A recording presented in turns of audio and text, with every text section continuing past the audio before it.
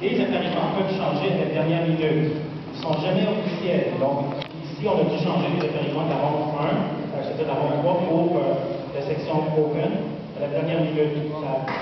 Ça, concerne, quelques échiquiers, ou quatre échiquiers. Il y a plusieurs règlements guidés qui, euh, forcent ça, par exemple, un joueur ne peut pas flotter deux fois.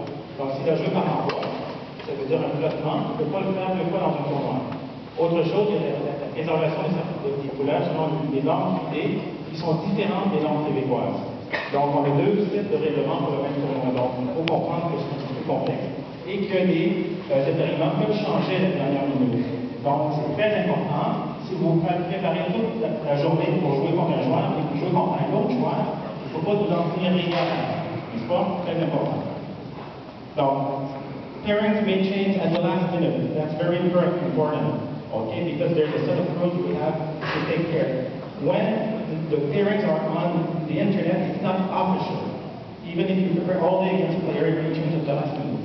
Okay? That's important.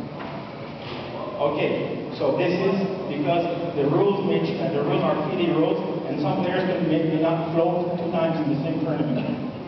It's what happens. Okay? Donc, on a une présentation spéciale à faire.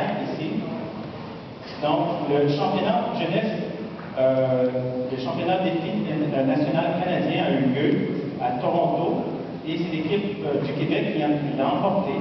Donc, le championnat défi national, c'est un tournoi qui regroupe des jeunes joueurs à un niveau scolaire de chaque province du Canada, donc les meilleurs joueurs de chaque province. Et euh, donc, à chaque année, ça a lieu, c'est un tournoi par équipe. Et cette année, c'est le Québec qui l'a emporté. Donc, on, moi, j'aimerais euh, que les 12 joueurs de l'équipe québécoise sont supposés être ici s'amènent à l'avant pour la présentation.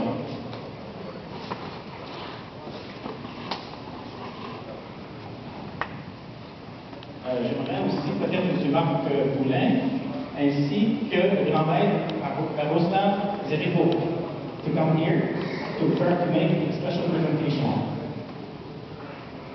I choose you because you were all spoken